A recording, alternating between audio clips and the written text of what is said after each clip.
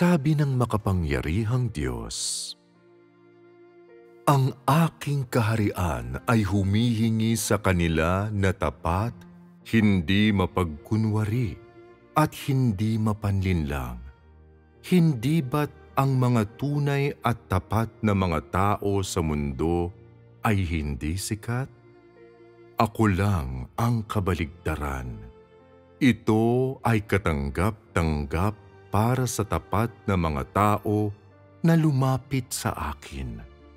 Ako ay nalulugod sa ganitong uri ng tao. Kailangan ko rin ang ganitong uri ng tao. Ito mismo ang aking pagkamakatuwiran. Amen. Amen. Kailangan ninyong malaman na gusto ng Diyos ang matapat na tao. Ang Diyos ay may pamantayan ng katapatan. Kaya ang kanyang salita ay palaging mapagkakatiwalaan. Isa pa, ang kanyang mga pagkilos ay walang pagkukulang at hindi mapag-aalinlanganan. Ito ang dahilan kung bakit gusto ng Diyos ang mga lubos na matapat sa Kanya. Ang ibig sabihin ng katapatan ay ang ibigay ang inyong puso sa Diyos. Huwag kailanman magbulaan na siya ay huwad sa anumang bagay. Maging bukas sa Kanya sa lahat ng mga bagay. Hindi kailanman itinatago ang katotohanan. Huwag kailanman gawin ang bagay na mapanlin lang sa mga nakatataas at mandaraya sa mga nasa ibaba at hindi kailanman gagawa ng isang gawain upang magmagaling lamang sa Diyos. Sa madaling salita, ang pagiging matapat ay ang pagpigil ng karumihan sa inyong mga kilos at salita, ang hindi manlinlang ng Diyos o tao.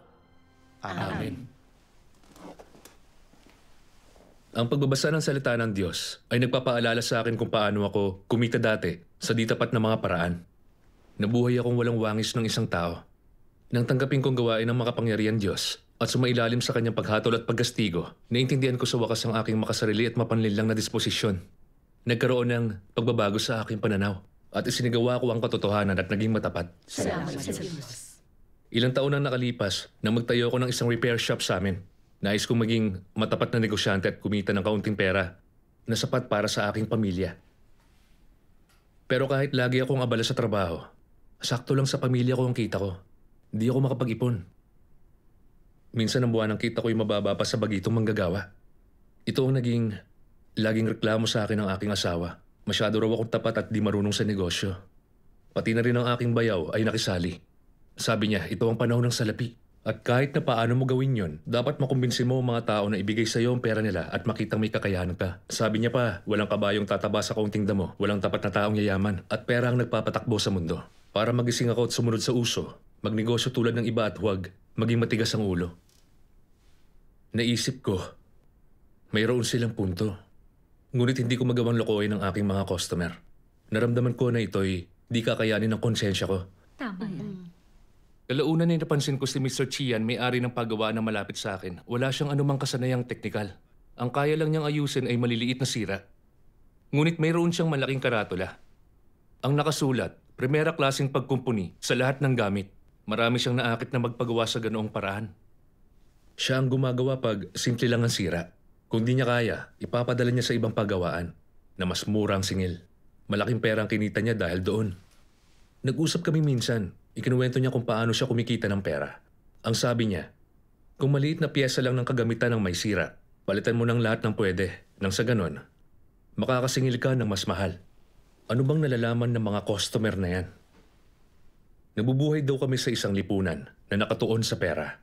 Basta't nakakahuli ng daga, di mahalaga ang kulay ng pusa. Ang may kakayahan lang daw ang nakakagawa ng pera. Walang halaga ang kabutihan ng tao kung wala namang kakayahan. Nang marinig ko ang napakagandang pananaw niya, naisip ko, ganito na ang panahon ngayon. Gagawin ng ibang tao ang kahit ano para sa pera, wala ng integridad. Para saan pa kung ako lang ang tapat? Isa pa, wala naman ako narating sa pagiging tapat ko sa negosyo. Parehas lang kami ng trabaho, pero namumuhay siya ng marangya. ang kanyang buong pamilya namumuhay ng marangya. Ngunit ang perang kinikita ko, sapat lang para makaraos. Mukha ngang naging matigas ang ulo ko. Kailangan ko kumita ng mas malaki para gumanda ang buhay ng aking pamilya. Pagkatapos nun, natuto ko mula sa mga tagumpay ng aking mga kasamahan at dinaya ko ang aking mga customer. Nakaramdam ako ng pagkabalisa. Ngunit hinayaan ko na lang upang kumita ng maraming pera. Isang araw, may customer na magpapagawa. Habang inaalis ko ang sirang pyesa, inalis ko pati na rin yung ibang maayos na pyesa para isipan ng customer na malaki ang sira ng gamit niya. At para hindi na siya magtaka pag malaki ang singil ko sa kanya. Totoo nga ang kasabihan na may sala gaya ng magnanakaw. Oo nga. Noong una ay talagang kinabahan ako at napakabilis ng tibok ng aking puso. Natakot ako mahuli, baka bigla niya akong sitahin. Nakakahiya yon.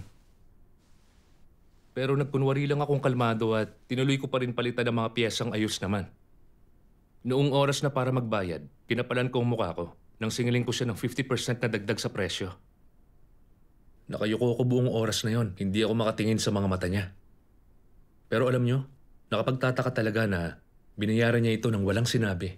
Siya nga. Sa wakas nakahinga ako ng maluwag nang makaalis na ang customer.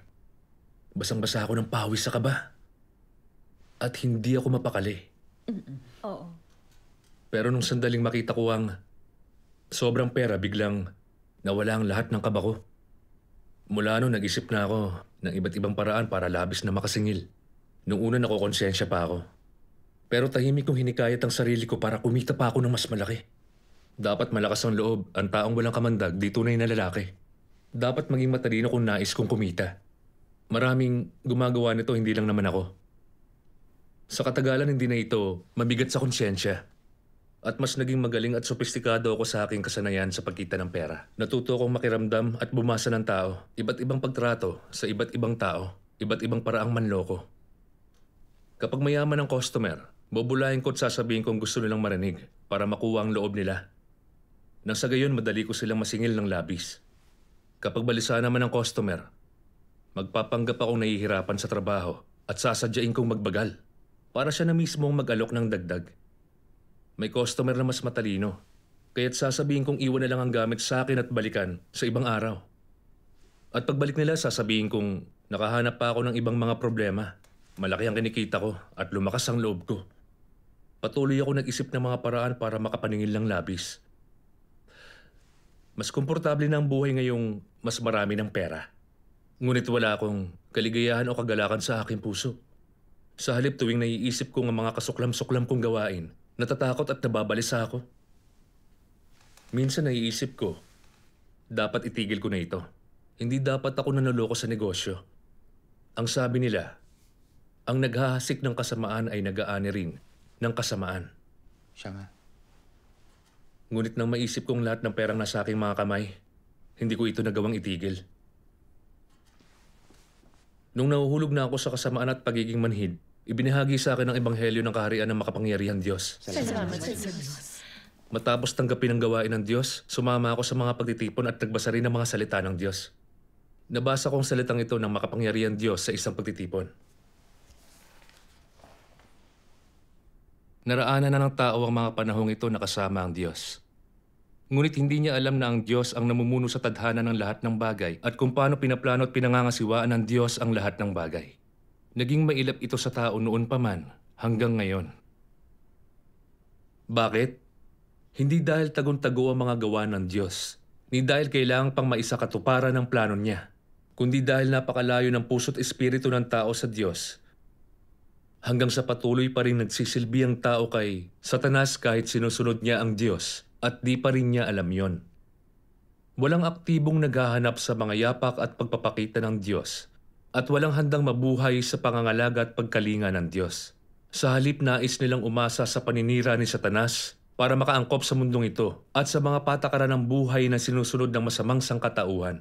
Sa puntong ito, ang puso't espiritu ng tao ay naging parangal na niya kay Satanas. At siyang bumubuhay rito. Ang puso't espiritu ng tao ay naging lugar kung saan makakatira si Satanas at bagay itong palaruan niya. Kaya di alam ng tao na nawawala ang pag-unawa niya sa mga prinsipyo ng pagiging tao at ang halaga at kahulugan ng buhay ng tao.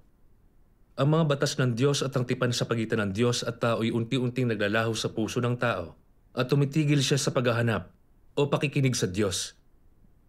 Kalaunan hindi na nauunawaan ng tao kung ba't siya nilikha ng Diyos o ang mga salita mula sa Diyos at lahat na nagmumula sa Diyos. Sa gayoy nagsisimula ng taong labanan ng mga batas ng Diyos at nagiging manhid ang kanyang puso at espiritu. Nawawala sa Diyos ang taong orihinal niyang nilikha at nawawala sa tao ang ugat ng pinagmulan niya. Ito ang pighati ng sangkatauhang ito. Amen. Amen. Ang kanyang salita ay sumasalamin sa realidad. Kahit na kumita ako ng limpak na salapi mula sa mundo at mas maginhawa ang buhay ko ngayon kaysa dati, kirot ang nilalaman ng puso ko. Ito'y dahil nilayo ko ang sarili ko sa Diyos, tumaliwas sa hinihingi niya sa tao, at namuhay sa mga patakaran ni Satanas para mabuhay. Oo. Siya nga. Tama. Noong bagong bukas lang ang aking negosyo, kumikita ako ng may malinis na budhi. At kahit na hindi ako kumita ng malaki, mayroon akong kapayapaan. Tama. Ngunit na-impluensyahan ako ng aking kapaligiran at nakita ko ang iba na yumayaman sa di magandang paraan. Naniwala rin akong walang kabayong tataba sa kaunting damo, walang tapat na taong yayaman. At pera ang nagpapatakbo sa mundo. At di lahat nabibili. Pero kung wala kang pera, wala ka ring magagawa. At iba pang mga patakaran mula kay Satanas. Sinunod ko ang masasamang kalakaran at tinalikuran ng sariling mga prinsipyo. Binaliwala ko ang aking konsyensya upang madaya ko ang mga customer sa kanilang mga pera. Ang salapi ay nasa aking mga kamay. Ngunit lahat ito'y galing sa nakaw. Tama. Tuwing naiisip ko ang mga di ka nais-nais at immoral na nagawa ko, kinikilibutan ako sa aking sarili at wala akong kapayapaan. Nabuhay sa takot na isang araw may taong maglalantad sa akin. Kung talagang malasin, baka isumbong pa ako sa pulis. Palagi na lang akong balisa. Ang hirap mabuhay ng ganito. Siya nga. Siya nga. Ngunit nung araw na yon, naintindihan ko na ang lahat ay dahil nabubuhay ako sa filosofiya ni Satanas. Ito ang bunga ng gapos at panilin lang sa akin ni Satanas. Tama. Kung walang patnubay ng salita ng Diyos, hindi ko makikita ang realidad na sinasaktan ako ni Satanas. Salamat. Salamat. Salamat sa Diyos. Binasa ng isang kapatid ang mga salita ng Diyos na ito. Kailangan niyong malamang gusto ng Diyos ang matapat na tao. May diwa ng katapatan ng Diyos, kaya ang salita niya ay laging mapagkakatiwalaan. Ang mga kilos niya ay walang kapintasan at di mapag-aalinlanganan. Kaya gusto ng Diyos yaong mga lubos na tapat sa Kanya. Ang ibig sabihin ng katapatan ay ang ibigay ang puso niyo sa Diyos, maging totoo at bukas sa Kanya sa lahat ng bagay, di nagtatago ng katotohanan, di nanlilin lang ng nakatataas at ng nasa ibaba, at di gagawa ng bagay para lang makakuha ng pabor mula sa Diyos. Sa madaling salita, ang pagiging tapat ay ang pagiging dalisay sa salit at kilos, at ang di panlinlang sa Diyos o tao. Humihingi ang kaharian ko ng tapat, di mapagkunwari at di mapanlinlang. Di ba't ang mga tunay at tapat na tao sa mundo'y hindi tanggap ng marami? Ako lang ang kabaliktaran. Katanggap-tanggap na lumapit sa akin ng mga tapat. Nalulugod ako sa ganitong tao. Kailangan ko rin ng ganitong tao. Itong aking pagkamakatuwiran. Amen. Ibinahagi niya ito. Ang Diyos ay tapat sa kakanyahan. Gusto at pinagpapala niya ang mga matapat. Siya, nga. Sa pakikitungo natin sa iba sa mundo, batas ni Satanas ang sinusunod. Huwag tumulong kung walang kapalit. Ang ating salita't gawa ay para sa pansariling pakinabang. Tayo'y sinungaling at manilinlang. Hindi natin alam kung paano maging mabuti. Siya nga. Siya nga. Ang pananalig sa Diyos ay iba ngayon. Hinihingi niya na tayo'y maging matapat, magsabi ng totoo, at maging matuwid. Hinihiling niyang tanggapin natin ang pagsisiyasat sa salita't gawa natin. Siya nga. Na maging bukas tayo at maging matapat. At na huwag nating subukan linlangin o lokohin ng Diyos o tao. Tama. Salamat sa Diyos. Tanging ang matatapat ang may tunay na wangis ng tao at kayang magpatotoo at lumulahati sa Diyos. Siya nga. Salamat sa Diyos. Nalaman ko sa salita ng Diyos na gusto niya ang mga taong matapat at kailangan kong kumilos ayon sa kanyang hinihingi. Siya nga. Nagsimula akong isagawa ang pagiging matapat sa mga kapatid at di ko na sila niloloko. Ngunit nag-aalala pa rin ako pagdating sa negosyo. Nadama kong mas madaling isagawa ang pagiging matapat na tao sa mga kapatid. Ngunit kapag ginawa ko yon sa aking negosyo, mababawasan ako ng kikitain at baka magsara ako ng tuluyan. Pero kung patuloy kong dadayain at lolokohin ng mga tao, labag ito sa kalooban ng Diyos, di ba? Kaya anong dapat kong gawin? Pinag-isipan ko ito ng mabuti at nakahanap ako ng kompromiso. Magiging isa akong matapat na tao sa iglesia. Ngunit sa negosyo ko, itutuloy ko pa rin ang dati kong gawain. May matandang lalaking nagdala ng TV. Ang sabi niya, malabo ang kulay ng TV niya. Nakita ko ang color tube sa luma na at kailangang palitan. Pero hindi ko sinabi ang totoo. Nagdagdag lang ako ng voltahe sa filament upang magamit pa niya ito ng sandali. At pag umulit ang problema, pwede ko yung palitan. Sa ganitong paraan, kikita ako ng dagdag na 30 yuan. Pagkalipas ng dalawang linggo, talaga nagka-problema ang TV. Hindi raw maayos ang ginawa ko kaya pinagawa niya ulit. Ang sabi ko sa kanya, luma na ang color tubes at kailangan ng palitan. Ikinagulat ko na nahalata pala niya ang aking pakana. Hindi niya binigay ang 30 yuan na bayad sa pagkumpuni. At galit niyang sinabi, Iho, kailangan ng katapatan sa negosyo. Huwag kang sakim. Nakaramdam ako ng matinding kahihiyan pero nagkibit balikat ako at hinayaan ko na lang. Kinalaunan may nagdala naman ng sirang microwave. Nung tiningnan ko yun, meron palang isang maliit na pyesa na sira. Naisip ko maaayos ko yun at makakasingil ng patas. Pero naisip ko nun, mukha naman siyang maraming pera at may kaya. Kung sisingilin ko siya ng sobra, di magiging issue yun kunin mong kaya mong makuha. Pero bumalik siya matapos ang ilang araw. At ito ang sinabi niya sa akin. Napakalaki ng siningil mo para sa microwave. Makonsyensya ka naman. Nakikita ng langit ang ginagawa natin. Siya nga. Ang sama ng loob ko nun pagkatapos niya akong pagalitan. At naisip ko rin yung sinabi ng lalaki. Lalong bumigat ang pakiramdam ko. Napagtanto ko rin na ginagamit ng Diyos sa mga bagay sa paligid ko upang magbabala para makapag-isip-isip ako. Nga. Pagkatapos nun, nabasa ko ito sa salita ng Diyos. Ano man ang iyong ginagawa, gaano mang kalaki o kaliit ang isang bagay, ginagawa mo man yon para sa iyong tungkulin sa pamilya ng Diyos o sa sarili, isipin mo kung naaayon ang ginagawa mo sa kalooban niya. At kung ito ba'y dapat gawin ng isang taong makatao. Kung ganito ang paghahanap mo ng katotohanan, tunay kang nananalig sa Diyos. Kung taimtim mong tinatrato ang bawat bagay at katotohanan sa ganitong paraan, magkakamit ka ng mga pagbabago sa iyong disposisyon. Iniisip ng ilang pag gumagawa sila ng personal na bagay, pwedeng baliwalain ang katotohanan at gawin ang gusto, gawin ito sa anumang paraan nagpapasaya sa kanila at sa paraang makakabuti sa kanila. Walang konsiderasyon sa epekto nito sa pamilya ng Diyos o kung angkop ba ito sa banal na asal. Pagtapos na sila rito, nagdidilim sila at di mapakali. Ngunit di nila alam kung bakit. Ganti ba to na di nararapat? Siya nga. Kung gumagawa ka na di sinasang-ayunan ng Diyos, nagkasala ka sa Diyos. Kung ayaw ng mga tao sa katotohanan at madalas sinusunod ng sariling kalooban, madalas silang magkakasala sa Diyos. Ang gayong mga tao'y hindi sinasang-ayunan ng Diyos. At kung di sila magsisisi, hindi malayong parusahan sila.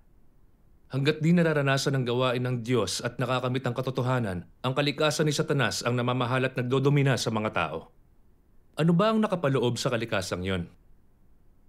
Halimbawa, bakit ka makasarili? Bakit mo pinoprotektahan ng sarili mong katungkulan? Bakit napakatindi ng damdamin mo? Bakit gusto mo ang di matuwid na bagay? At ang mga kasamaang yon?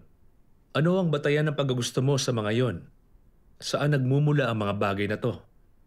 Bakit masayang masaya kang tanggapin ang mga ito? Sa ngayon, naunawaan nyo na ang lahat na ito'y dahil may laso nito ni Satanas. Tungkol sa kung anong laso ni Satanas, may papahayag yon sa mga salita. Kung tatanungin mo, ang masasama kung bakit gayon ang kilos nila, sasagot sila, bawat tao para sa sarili bahala ng iba. Ipinahahayag nito ang pinakaugat ng problema. Naging buhay na ng mga tao ang lohika ni Satanas. Maaari silang gumawa para sa kung ano-anong dahilan. Ngunit para lang yon sa sarili. Iniisip nilang dahil bawat tao para sa sarili at bahala ng iba. Dapat silang mabuhay para sa sarili. Ginagawang lahat para sa posisyon, pagkain at damit. Bawat tao para sa sarili at bahala ng iba. Ito ang filosofiya ng tao at kinakatawan nito ang kalikasan ng tao. Ang pahayag na ito ang laso ni Satanas at kapag sinabuhay ito ng mga tao, nagiging likas na yon sa kanila. Inilalantad ang kalikasan ni Satanas sa mga salitang ito. Lubustong kumakatawan dito. Ang lasong ito'y nagiging buhay ng mga tao at pundasyon nila sa buhay. At ang mga taong ginawang tiwali ay patuloy ng pinangingibabawa ng lasong to ng libu-libong taon. Ah, totoo yan. Siya nga. Sa pagbasa nito nalaman kong nakikita ng Espiritu ng Diyos ang lahat. Siya nga. Hindi ko pa kailanman ibinahagi ang aking kaloob-looban sa sino man, pero inihayag ito sa kanyang mga salita. Tama. Oo nga. Siya nga. Hinihiling ng Diyos na ibigay natin ang mga puso natin sa Kanya. Sa tungkulin man natin sa bahay ng Diyos o pang sarili, ang Kanyang salita ang dapat nating isagawa. Tama. Ngunit pili kong isinagawa ang katotohanan sa aking buhay. Gusto ng Diyos at ng mga kapatid ang pagiging tapat sa simbahan, kaya handa akong gawin yon. Pero sa negosyo ko, akala ko hindi ito makakatulong sa akin, kaya hindi ko ginawa. Inuna ko lamang ang pangsarili kong interes at isinantabi ko lang ang mga salita ng Diyos. Ang panloloko ay hindi naaayon sa kalooban niya. Ngunit ginawa ko pa rin ang nais ko, ang gusto ko, para matugunan ang sarili kong mga interes. Yung ba ang may pananampalataya? Natauhan ako noon. Bawat tao para sa sarili. At hahamakin ang lahat para yumaman. Ito ang mga malasatanas na batas sa kabuhayan na nangibabaw sa akin at naging kalikasan ko. Siya nga. Ang buong akala ko, hindi ako makakaraos sa buhay kung hindi ako aayon sa mga ito. Pero ang katotohanan, sa pamamagitan ng pamumuhay ng ganun, personal at material lang ang aking napalaroon. Ngunit ito ay isang masamang paraan upang mabuhay. Eksakto. Oo. Nagalit sa akin ang mga tao. Kinamuhian ako ng Diyos. Ang sabi ng Panginoong Hesus, Sinasabi ko sa inyo, malibang kayo'y manumbalik at maging tulad sa maliit na bata, di kayo papasok sa kaharian. At sabi ng makapangyarihang Diyos, pagkat di ko madadala ang mga kaaway ko at ang mga umaalingasaw sa kasamaan sa aking kaharian o sa susunod na kapanahunan. Siya nga. Ang Diyos ay banal at matuwid, at nais niyang matamo ang matatapat, ang mga sinungaling at mapanlinlang. Ang mga masasama na likas na lumalaban sa Diyos at tumatangging magsisi, ay lilipulin ng Diyos at di makakapasok sa kaharian niya. Tama. Kung hindi pa rin ako nagsisi at nanatili sa mga pilosopiya ng Diablo, baluktot at di makatarungan, tiyak ang aking katapusan. Sigurado. Ako'y natauhan at agad na nanalangin sa Diyos. Makapangyarihan Diyos, naniniwala ako sa iyo. Ngunit wala ka sa aking puso. Nabubuhay pa ako sa mga patakaran ng Diablo. Hindi ko na gustong manloko. Nais kong magsisi at maging matapat. Amen. Salamat, sa Salamat sa Diyos. Amen. Pagkatapos nun, dalawang kabataan ang dumating para magpagawa ng TV. Habang ginagawa ko yon, narinig ko sila nag-uusap ng tahimik sa labas. Kung alam lang natin na walang kwentang paggawaang yon, hindi sana nasayang ang dalawang araw natin. Sana naman ito marunong gumawa. Napaisip ako sandali. Kung iba ang nakarinig nito, sinisigurado ko ang iisipin ay pera. Kaya madali ako makakahiling sa kanila ng dagdag na 20 o 30 yuan. Sayang naman ang madali ang pera. Pwede naman ako maging tapat sa susunod. Di naman siguro papansinin ng Diyos kung isang beses lang. Ngunit naalala ko ang nagpagpasyahan ko noon at naisip ko ang kanyang salita. Kung ayaw ng mga tao sa katotohanan at laging sinusunod ang sariling kalooban, madalas silang magkakasala sa Diyos. Ang gayong mga tao ay di sinasang-ayunan ng Diyos. At kung di sila magsisisi, di malayong maparusahan sila. Tama yan. Naramdaman kong nagbabala sa akin ng Diyos. Hindi ko pwedeng gawin ng mali. Kailangan ko magsisi at maging tapat. Tama. Siya nga. At kaya hindi na ako nagpadagdag ng bayad sa kanila. Purihin ng ng Diyos. Diyos. Nang makita ko ang ngiti sa kanilang mga muka, naramdaman ko na kapag tapat kang tao, mamumuhay ka ng malaya. Siya nga. Isang beses may kinumpuni akong TV para sa isang ginang. Ang singil ko ay 50 yuan. Binigyan niya ako ng 100, sa akin na lang daw ang sukli. Pero ibinalik ko ang sukli. Nakapagtataka kung bakit sobra siyang mapagbigay. Ang sabi ng ginang sa akin, yung una kong pinuntahang pagawaan, motherboard daw ang problema, 400 yuan daw para mapalitan. Pero hindi ako pumayag. Buti na lang, may kakilala akong nagrekomenda sa'yo. Ang sabi niya sa akin, ikay tapat, hindi magulang at hindi naniningil lang sobra-sobra. Ngayon nakita ko, tama nga siya. Salamat Nang sinabi niya sa akin yun, naisip ko, hindi dahil sa mabuti akong tao. Binago ako ng Diyos upang maisabuhay ang wangis ng tao. Salamat sa Diyos. Salamat Siya sa nga, Diyos. ang Diyos lamang ang makapagpapabago sa tao. Ang aking pananaw sa mga bagay ay nagbago dahil sa salita ng Diyos at pagiging tapat. Ang akala ko dati ay walang paraan upang maging matapat na negosyante na hindi ka kikita ng pera na malulugi lang at magsasara. Nang simulan ko ang pagiging matapat ayon sa salita ng Diyos, hindi na ako nalulugi. Dumadami pa ang aking customer. Ang iba galing pa sa malalayong lugar. Ang sabi nila, mayroong nagrekomenda sa akin sa kanila. Kailanman hindi ako nagpa-anunsyo para sa aking negosyo o humingi ng tulong mula sa iba. Ang salita ng Diyos ay aking isinagawa. Ako'y naging tapat, naging marangal, tulad ng gusto niya, kontento sa sapat. Nakamit kong tiwala ng tao. Ito ang pagpapala ng pagsasagawa ng katotohanan. Amen. Ito isa pang sipi sa mga salita ng Diyos. Sabi ng makapangyarihang Diyos, Kapag nabubuhay ang mga tao sa mundong ito, sa ilalim ng impluensya ng katiwalian ni Satanas, imposible silang maging matapat. Mas lalo lamang silang magiging mapanlinlang. Gayunman, maaari ba tayong mabuhay sa mundong ito o hindi? Kung magiging matapat tayo, babaliwalain ba tayo ng iba? Hindi. Mabubuhay tayo tulad ng dati. Ito ay dahil hindi tayo umaasa sa panlilinlang para makakain o makahinga. Sa halip, nabubuhay tayo sa hininga at buhay na ipinagkaloob ng Diyos tinanggap na natin ang mga katotohanan ng mga salita ng Diyos at mayroon tayong mga bagong panuntunan kung paano mamuhay at mga bagong mithiin sa buhay. Nahahantong sa mga pagbabago sa pundasyon ng ating buhay. Binabago natin ang mga paraan at pamamaraan ng ating pamumuhay para mabigyang kasiyahan natin ng Diyos at maghangad ng kaligtasan. Walang anumang kinalaman dito kung ano ang ating kinakain, ano ang ating isinusuot o saan tayo nakatira. Ito ang ating espiritual na pangangailangan. Amen. Amen. Salamat sa Diyos. Salamat sa Diyos. Salamat sa Diyos.